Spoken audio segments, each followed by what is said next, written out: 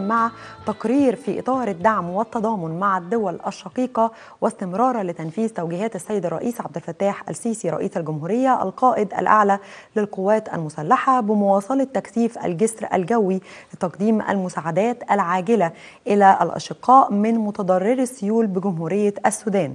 أقلعت طائرة نقل عسكرية من قاعدة شرق القاهرة الجوية متجهة إلى مطار الخرطوم محملة بكميات كبيرة من المواد الغذائية والمستلزمات الطبية مقدمة من جمهورية مصر العربية إلى الشعب السوداني الشقيق لتخفيف العبء عنهم في محنتهم الحالية.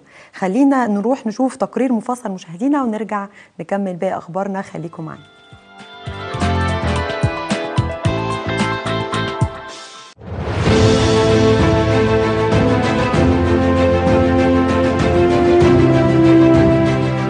في إطار الدعم والتضامن مع الدول الشقيقة واستمرارا لتنفيذ توجيهات السيد الرئيس عبد الفتاح السيسي رئيس الجمهورية القائد الأعلى للقوات المسلحة بمواصلة تكثيف الجسر الجوي لتقديم المساعدات العاجلة إلى الأشقاء من متضرر السيول بجمهورية السودان. أقلعت طائرة نقل عسكرية من قاعدة شرق القاهرة الجوية متجهة إلى مطار الخرطوم.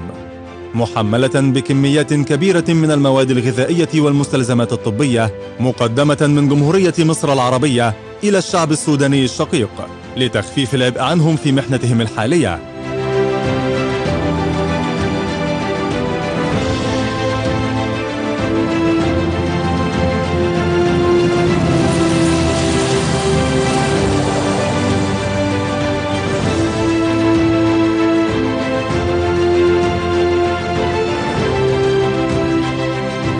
وأعرب المسؤولون من الجانب السوداني عن بالغ شكرهم وتقديرهم لمصر قيادة وشعبا وجيشا على المساعدات المقدمة وأهمية تلك المساعدات في تجاوز أزمة السيول التي اجتاحت البلاد مؤخرا مؤكدين على أن المساعدات المصرية تشير إلى اهتمام مصر بأشقائها من الدول العربية والإفريقية.